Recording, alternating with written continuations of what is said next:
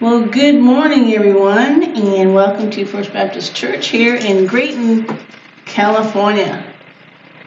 We uh, welcome you to uh, come and visit us anytime you're in the area. Uh, we have Bible study at 9:30 on Sunday mornings, and it goes until 10:30, and then worship starts at 11 a.m. Today is, as most of you know, today is the eve of the new year, the last day of 2023, and I. For many of us, 2023 has been horrendous, and so we all look forward to uh, the upcoming new year with its freshness. But I ask that we consider also to look at every day as a new day. Especially when you wake up in the morning, it's like God must not be finished with you yet if you woke up. You know what I'm saying? All right, let's go ahead and go to the Lord in prayer. Most Heavenly Father, God, Creator God, we thank you for all of the rain here in uh, Northern California. It's been wonderful to uh, see the earth be rejuvenated with the moisture that it so needs. To see the plants, the trees, all that you have created just getting greener and more plush. And we thank you for that, Lord. We know that you regenerate us each and every moment. And we thank you for that, Lord. Lord, we lift up to you those that don't know you as we go from the old year into the new year, Lord. Uh, we continue to ask that you use this church, this body of believers Lord, use us and help us to know our direction each and every day as to where you would have us focus. Lord, we know our focus is on those who do not know you. Help us to individually focus, each one of us individually, and then on the individuals, Lord, that you would put in our path. We ask you for divine moments, day in and day out. We ask that you help us to remember that with those divine moments, with those moments where you've put somebody in our path so that when we speak to them, Lord, we know that you give us the words that need to be spoken. Help us to keep ourselves clean, keep ourselves cleansed of anything that separates us from you.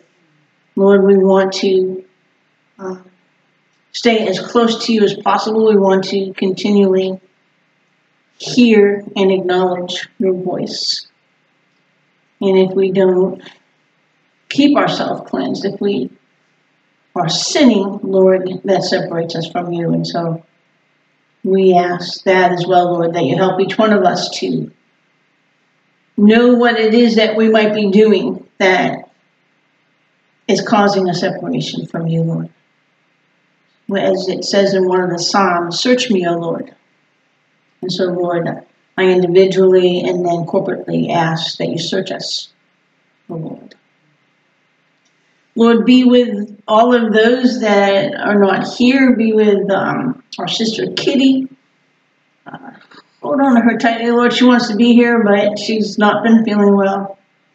And we also ask that you be with Charlene we ask, Lord, that the company that she works for will be more into granting her uh, Sundays off, or at least the morning, so that she may attend worship service, Lord. And give her the boldness, Lord, give her the boldness to speak up.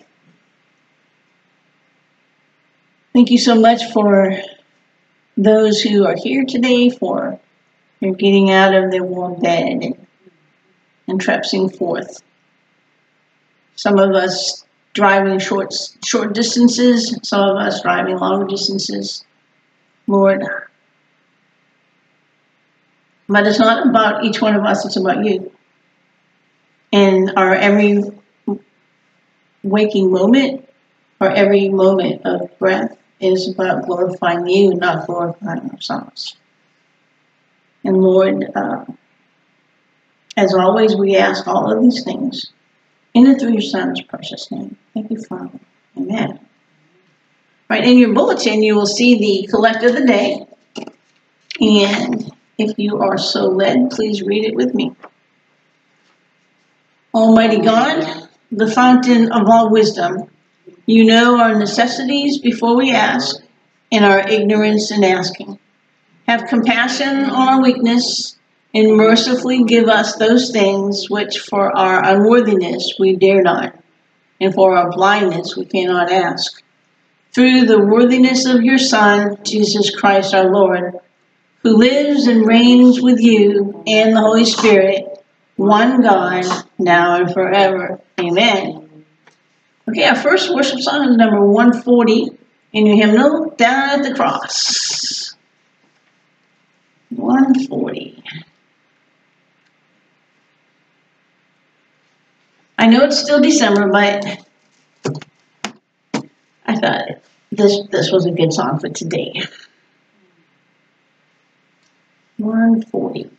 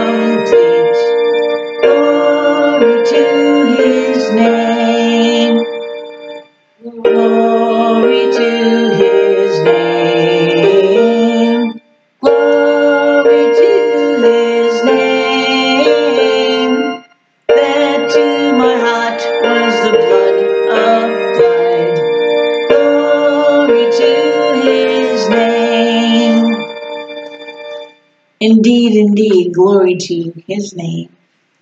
One of the things I noticed as we were singing this, in two verses, the third and the fourth verse, right at the very beginning, it mentions the fountain. I can remember the first time I read that in a hymn, it's like, I was saying to myself, what fountain is it talking about? We're not going to do it, uh, but on the next page, 142, is a song called There Is a Fountain. And it references uh, Zechariah 13, which talks about there will be a fountain opened. So just for reference, if you ever want to go take a look at that. Maybe that's a good topic for a sermon one day about the fountain that's opened. Okay, our next song is number 476. We haven't done this in a while. Be strong in the Lord.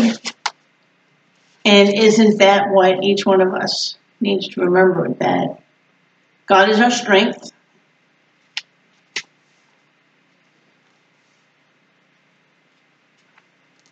That we find our strength in Him, we find our courage in Him. Excuse me.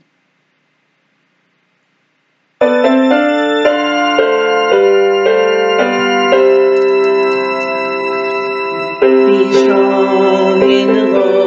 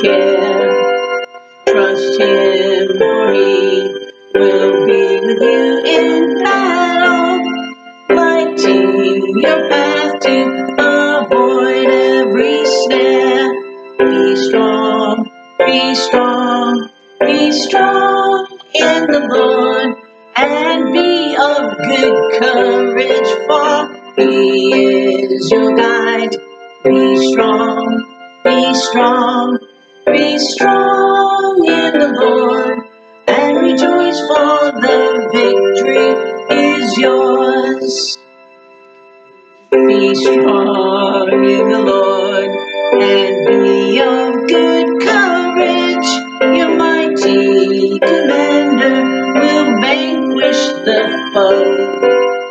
Fear not the battle, for the victory is always his. He will protect you wherever you go. Be strong, be strong, be strong in the Lord, and be of good courage, for He is your guide. Be strong, be strong, be strong in the Lord, and rejoice, for the victory is yours. And I hope and I hope and pray that when you come upon or we come upon a time where there's a huge battle going on around us, that we remember these words. And the theme is throughout the scripture about being strong in God and how the battle is His, not ours, it's His. And that He's got it. He's got your back, He's got your front, He's got your six, as they say in the military. We need to rest and hold on to Him no matter what's going on in the world.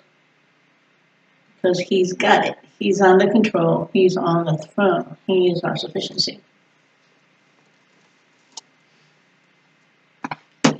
One of the things that I've come to find, or that I have experienced as different things are going on in the world and as different uh, things are happening in my life personally, that words of the scripture come and hold on to me and guide me and comfort me and in different songs pop up as well. This song right here, be And we're just saying, be strong in the Lord is one that pops up often. and it really is all about letting go and letting God. It's um, now time for um, our time and offerings. And um, I will just go ahead and say the offertory prayer, and then we'll get to the pastor's sermon. Most Heavenly Father God, we thank you for all of your provisions. We thank you for every single solitary thing that we have. We know that you are the God who provides.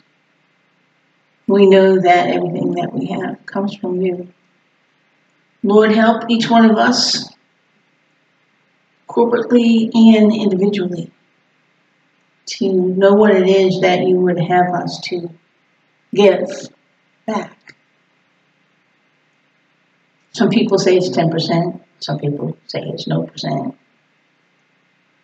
Lord, help each one of us know. Place it on our hearts. We know from Scripture that you, like a joyful giver, we know that the money, that the stuff, that the things that we have are ours. We know that they came from you. But Lord, guide us in how you would have us to give back.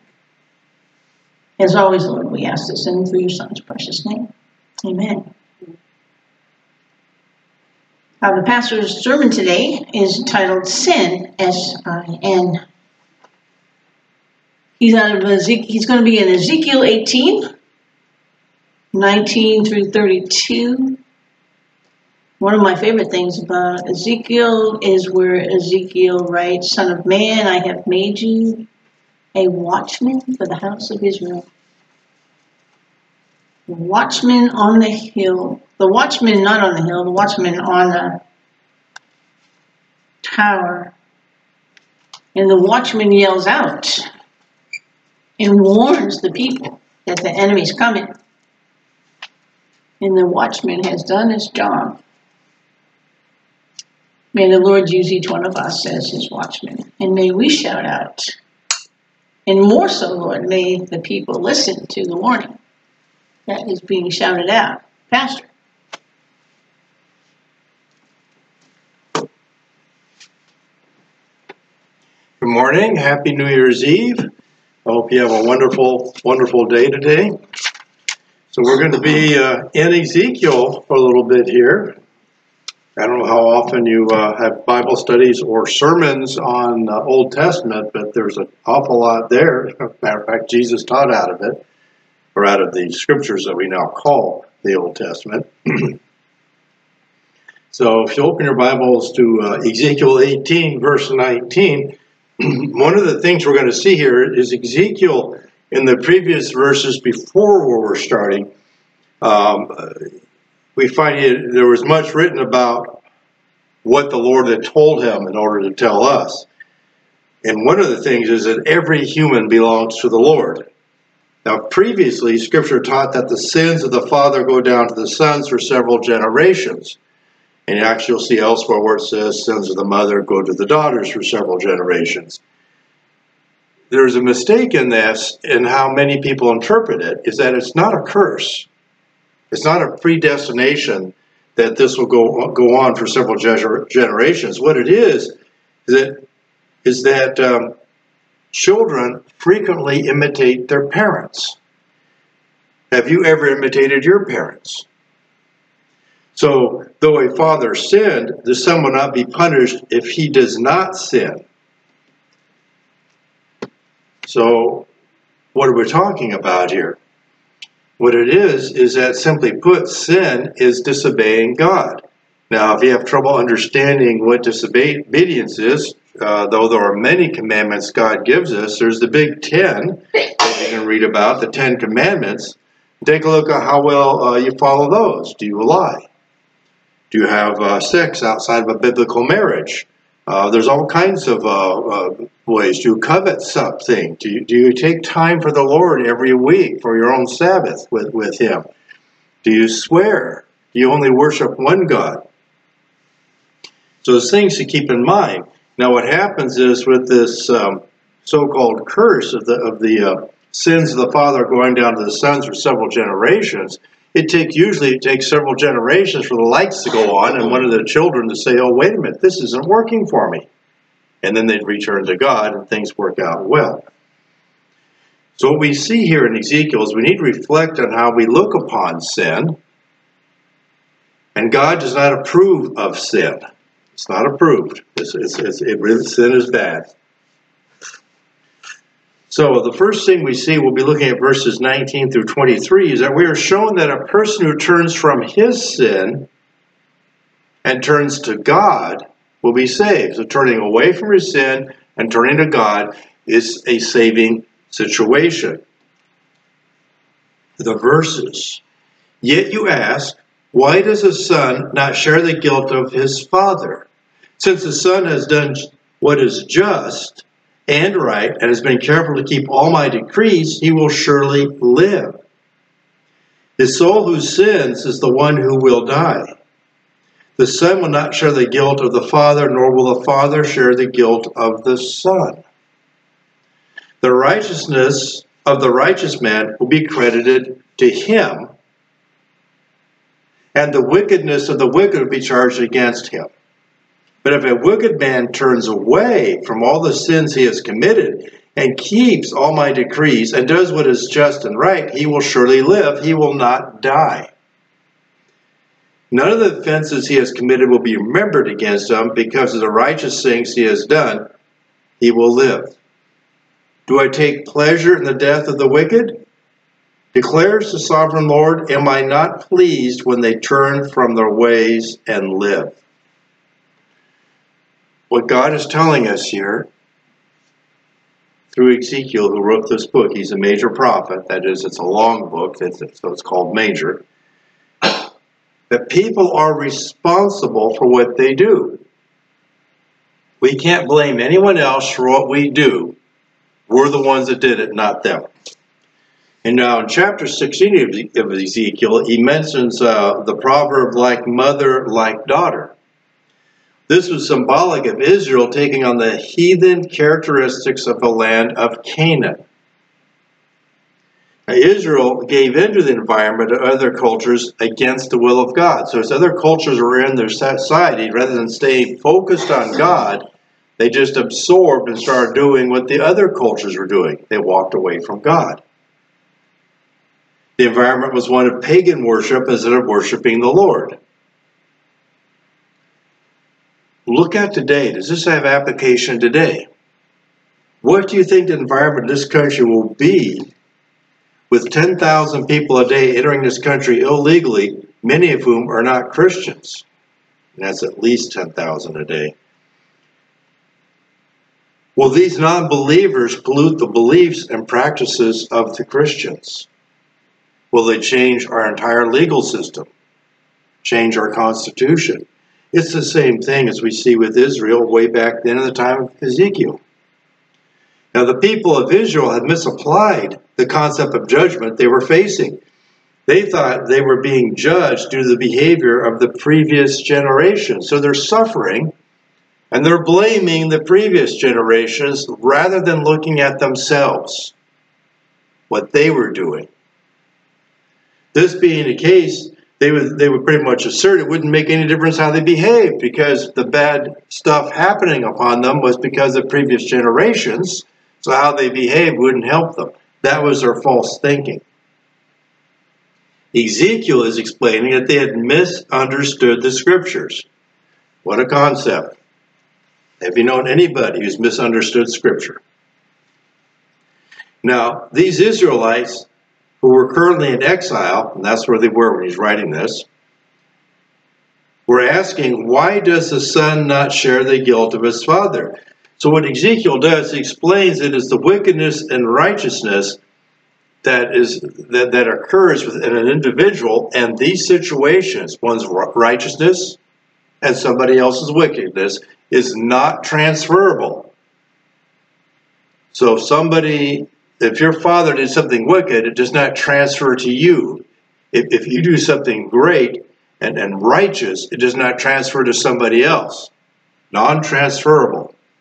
Ezekiel will explain this very clearly. Each person will be credited or charged as the case warrants. God will look at what they did, what they did, not anyone else around them. It's them. I go before judgment before God. It's what it's all about me, not about anyone else. Of course, I've accepted Jesus, my Lord and Savior, so I've got the not guilty stamp on me. Now, Ezekiel explains five things. That whenever a person lives righteously according to the principles of the Mosaic covenant, he will live physically, and when he dies, he will live eternally. The unrighteous, those who are sinners by disobeying God's righteous way for living, as revealed in the law, will die physically and eternally. Keep in mind, none of us can keep the law, so that's a problem if you're going to go by that. A son would not be punished for the sins of his father. A father would not be punished for the sins of his son. Fourth, a righteous person lives due uh, to what is righteous. The wicked die to sin. A wicked person will live eternally if he repents. So there is there is a escape clause here. God does not rejoice when the wicked die. God is delighted when the wicked turn to him in obedience and lives. So on your, your own behavior, how righteous in eyes of God would you be if you had not received forgiveness through Jesus? So by no longer letting sin run your life, you show you are saved and having turned from sin to God. In other words, we've got a choice. Does our life run by sin? Or do we turn to God and let Him run our lives? Is He our new manager? Well, chapter 8 of Romans explains this very well. The Apostle Paul writes to us there is no condemnation for those who are in Christ. That is, we are forgiven, we are positioned in Christ. This is a result of having Jesus as our Lord and Savior, which frees us from the condemnation of disobeying the law. No one is good in the eyes of God. No one. Uh, Jesus speaking in Mark 10, verse 18. Why do you call me good? Jesus asked him. No one is good but one, God. Or in Romans 3.23 with Paul writing us or talking to us, for all have sinned and fall short of the glory of God. So we are forgiven and saved due to God having sent his Son in the likeness of, a, of sinful man to be man's offering for sin. Those who uh, live life through their sinful nature have their minds set on sin. Those who live in accordance with the Holy Spirit have their minds set on what what God desires. They're focused on Jesus. They're Christ centered in their lives. The mind of a sinful man is hostility and death as well as hostility to God. Those controlled by sin cannot please God. The, uh, the mind following the Holy Spirit is full of life and peace. The Holy Spirit of God lives in those who turn their lives over to Christ Jesus. It's like an escrow company. It, it's we are sealed. This is our guarantee. Anyone who does not have the Holy Spirit living in them does not belong to Christ for God's family. To have the Holy Spirit live in you, you need to accept Jesus as your Lord and Savior. This is the first step in turning away from sin and how one turns to God to be saved eternally. Now, as we move on, verses 24 to 29, we see that God tells us his ways are just in regards to sin. Now think of it, if, if, if the law was just, any law, law today, anywhere, everybody doing the same crime would have the same punishment. There'd be no exceptions. That would be justice. It's just, you did this, here's your, here's your, here's your uh, punishment. God is telling us his ways in regard to sin are the same way. They're just. But if a righteous man turns from his righteousness and commits sin and does the same detestable things the wicked man does, will he live? None of the righteous things he has done will be remembered. Because of the unfaithfulness he is guilty of and because of the sins he has committed, he will die. Yet you say, The way of the Lord is not just. Hear, O house of Israel. Is my way unjust? Is it not your ways unjust? If a righteous man turns from his righteousness and commits sin, he will die for it. Because of the sin he has committed, he will die. But if a wicked man turns away from the wickedness he has committed and does what is right and just, he will save his life. Because he considers all the offenses he has committed and turns away from them, he will surely live. He will not die. Yet the house of Israel says, The way of the Lord is not just. Are my ways unjust, O house of Israel? Is it not your ways that are unjust? So God is just in how he deals with sin, very basically. Now, there was a time when a righteous man who had trusted in Messiah had, had the freedom to sin. Uh, oh, excuse me, there was never a time, ooh, couldn't read that. There was never a time when a righteous man who was trusted Messiah had the freedom to sin. Many people would say this, oh, I'm saved, so I can go on and sin because I'm saved. Um, now, that person, of course, will die uh, if, if they believe in Jesus Christ, their Lord and Savior. Um, but the, the thing is, uh, they're still saved. But the thing is, if you're committing sin as a way of life, but the real question is, are you even saved? Because the Holy Spirit should be convicting you that this is wrong and you want to change it. But if you just do it as a way of life, with like a sociopath, with, with no no guilty feelings, no no desire to repent, then you're probably not a believer and are not saved. You need to believe in your heart and confess with your mouth. And if you believe, you're going to take action to change things. God never condones sin or grants anyone a license to disobey, his commands. Uh, Paul actually writes about this in Romans. Do you still sin intentionally because you believe you have a license to do to sin due to your salvation? Now Ezekiel again reviews a statement of the exiles. They claim the way of the Lord is not just. Moreover, they're saying his ways are absurd. God's way makes no sense according to them. God's response is that the way of Israel is not his way and is inequitable as well as unrighteous.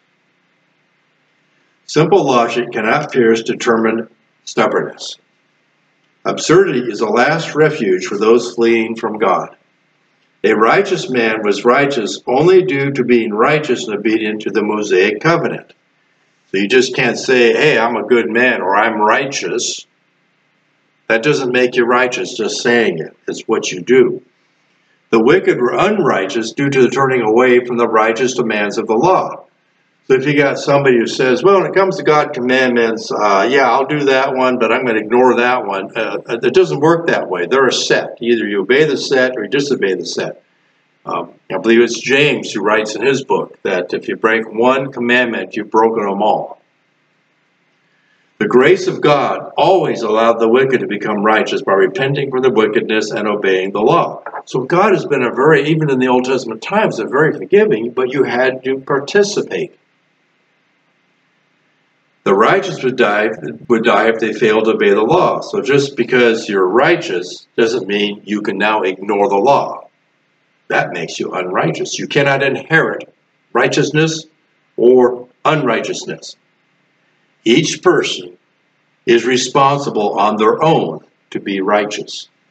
Now, today we do that with our faith and belief in Christ. We are positioned in Jesus and we are declared righteous.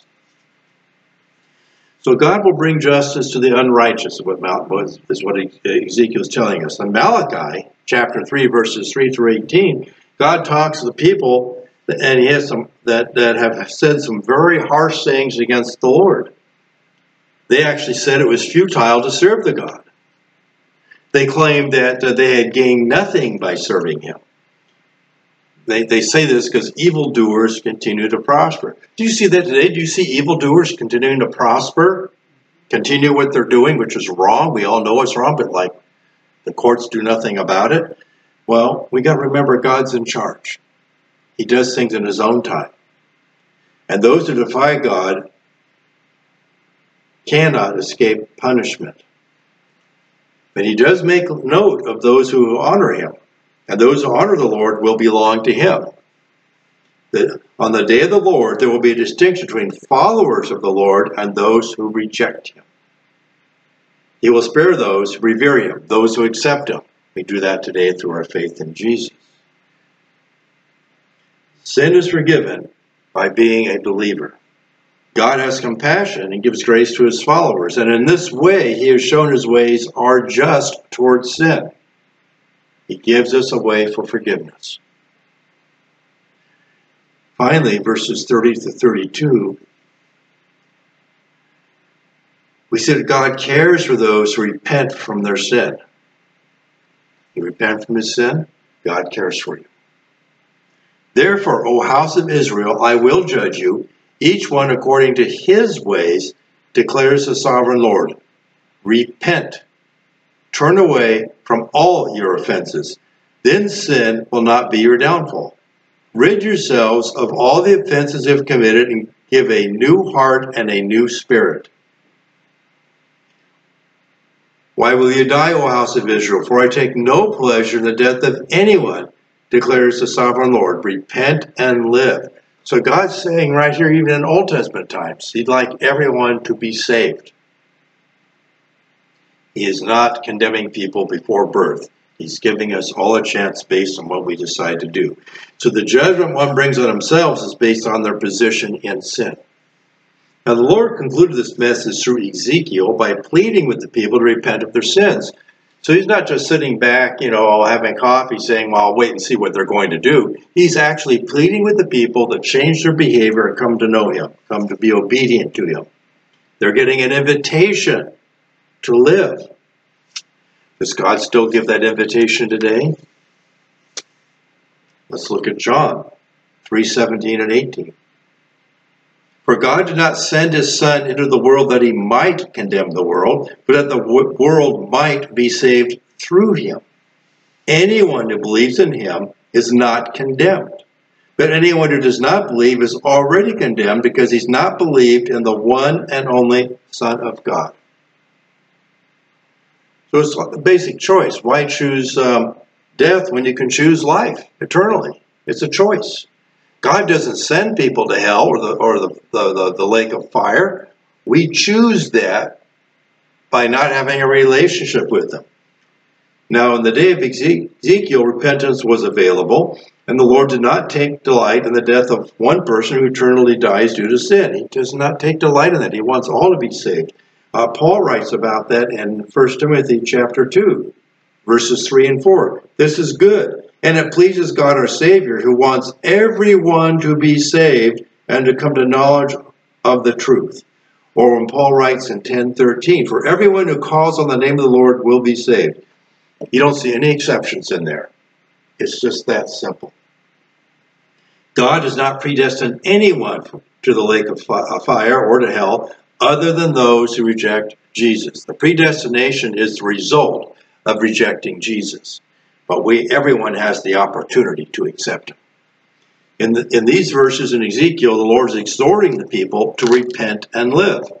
The focus of these verses is the need for Israel to take responsibility for their sin, repent, and turn to God.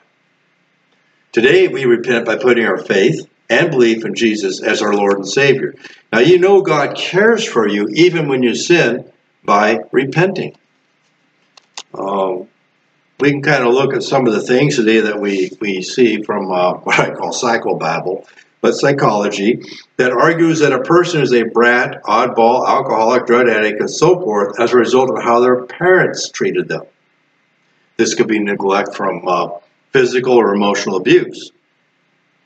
Ezekiel is instructing us we stand alone before God. We can't blame anyone else. There's a point where we are mature enough or are supposed to mature enough or we're adults. We make our own decisions and we need to start taking responsibility for ourselves. We are accountable for our actions, not anyone else's. Why do we sin? Because we are sinners. We have the sin nature in us. Every person will stand before God will not be able to blame anyone else for their action. But we do have a solution that God gives us. There is a solution, and that is to becoming cleansed of our sins. Not just whitewashed over with paint that eventually peels and shows the old coat, but literally be washed clean. The solution is Jesus. So we see here that we are shown that a person who turns from his sin and turns to God will be saved. God tells us his ways are just in regards to sin, and that we see God cares for those who repent from their sin. Have you repented from your sin? If not, this is a good time to pray for the Holy Spirit to come into you, turn your life in the care of uh, Christ Jesus, accept Him as your Lord and Savior, and turn your life over to God. May God bless you, and I hope you have a wonderful 2024.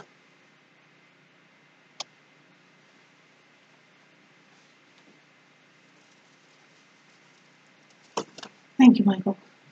And yes, um, James 2.10, I looked it up while you were preaching, that says if you've broken one, you've broken them all. That would be another good topic for, for a sermon. I love that when being in church and you you're discussing God's word and worshiping God and glorifying God and more topics to preach on come up. So our announcements, uh, we have Bible study this Wednesday. Bible study this Wednesday at 7 p.m., 7 to 8 p.m. Everybody's welcome. Uh, yeah, Sunday morning, uh, 9.30 to 10.30. Everybody is welcome. We're in uh, First Peter on uh, Sunday mornings. And you guys in Ruth? Uh, actually, we did all of Ruth last week. Oh, okay, so you go into the next book? Percent. For Samuel. Oh, the Samuels. I love the Samuels. There's just so much. Of course, there's so much in every book of the Bible, but oh goodness, there's just so much there in the Samuels. First and second Samuel, that is. Okay, um, our closing song is number 406, The Solid Rock. That, of course, speaking of Jesus, on Christ, the solid rock, I stand. All the ground is sinking. Yes. So if you are sinking, know that you are not standing with Jesus. You're not standing on the rock.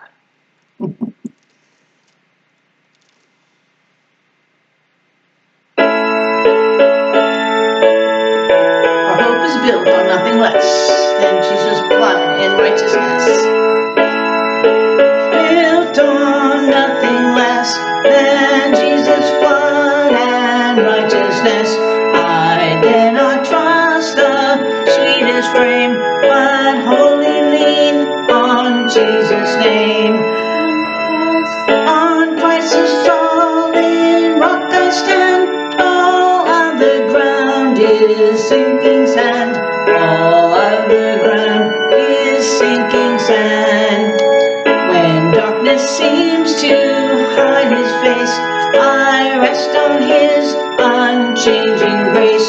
In every high and stormy gale, my anchor holds within the veil.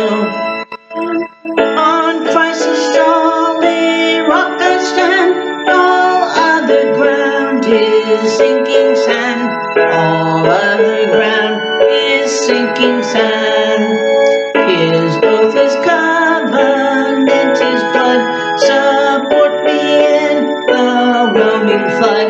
When all around my soul gives way, he then is all my hope and stay.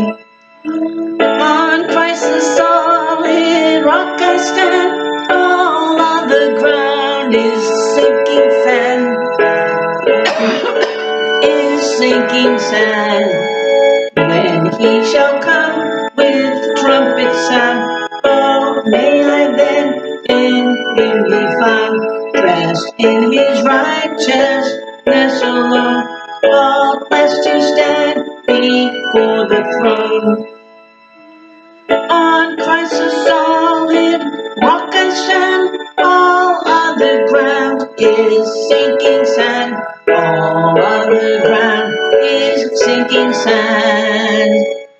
Amen, amen. Yeah, when it goes into the chorus on that song, it's like there's no reason for it to hold it as long as it did. That's like a, that's what, a quarter note there at the end. They chose. But they chose to do it that way, so God is good. You know, you think about the, the, the hymns, and I'm just so thankful to all of those people who felt God through the Holy Spirit putting these songs on their hearts, and that they actually sat there and that, you know they wrote them down. They're good examples for us, and when we know that God is leading us through the Holy Spirit, that we follow that. That if indeed it's God, then He's going to give you the strength and the courage to do whatever it is that He's leading you forth to do. As we uh, close out the worship service, um, I want to put forth the challenge, which I do every year. Usually I do it in a sermon, but Michael was here this year.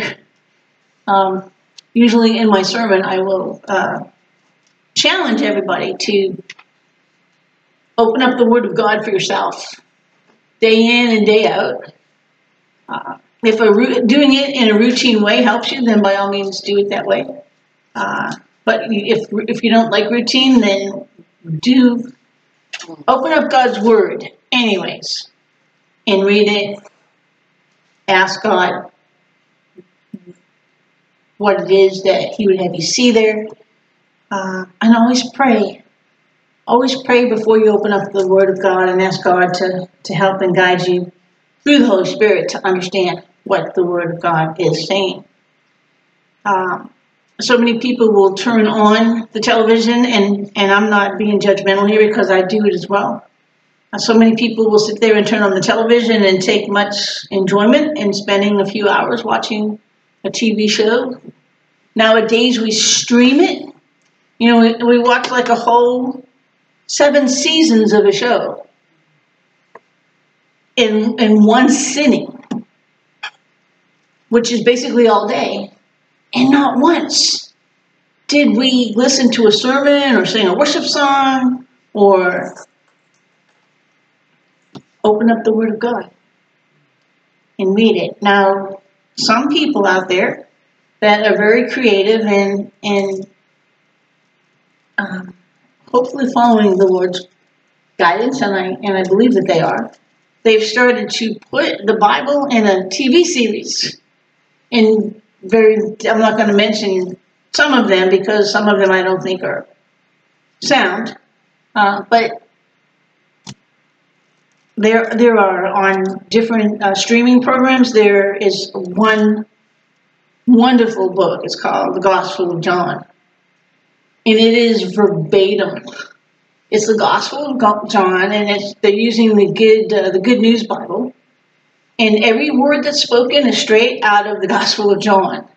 And then, of course, you have the the actors are dramatizing it. You know, they're acting it out, and there's some artistic in, in, uh, expression in there. However, every single word that's spoken is from directly the Gospel of John, the Good News translation. So I, I highly recommend that.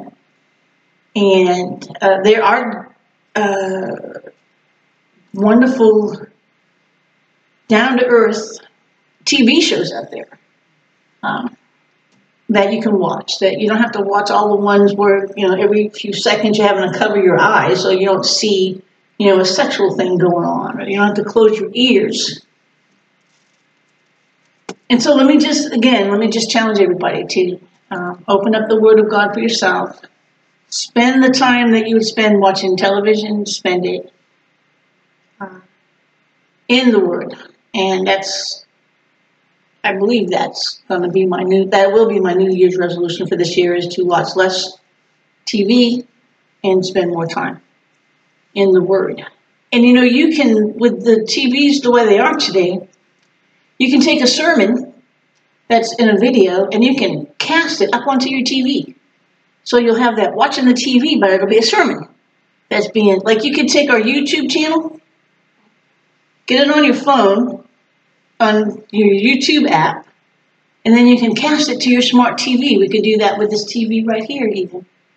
If ever there was a Sunday where there was no pastor and nobody felt led, we could just chime into the YouTube channel and put one of our other sermons, one of our other worship services up there. So, okay, I go on. so, uh, most heavenly Father, Lord, I ask for your uh, continued hedge of protection around everybody here and around everybody that's listening, around our church, the church property, our neighbors. Lord, we um, ask for your healing on all of those who are sick, uh, the different people with a continuous, a continuous cough or a sore throat or a dry mouth or um, a cold, um, all those different ailments that we feel in our body, Lord. Heavenly Father, Lord, we just, in, anything that's, you know, quite harmful to us as well, Lord, we ask for your healing. Lord, we ask for your, your healing hands upon each one of us, that we may uh, go forward into the new year more healthy, so that we're able to do more ministry in your name. And uh, be with each one of us as we travel, be with all of our family members. Lord, we ask that you be with every person out there that's, that's going to do something to um, manipulate manipulate the way that they feel, whether that be drugs or alcohol or, or, or food, but mainly with the drugs and alcohol, Lord, keep them off the road or just keep them from bring somebody in their lives to keep them from using these substances. Lord, would you ask that? We we all know people and love people um, that have issues with these areas. Uh, and but by your grace go we, Lord. Again, uh, we love you, Lord, and we ask all of these things. And through your Son's precious name. Thank you, Father. Amen.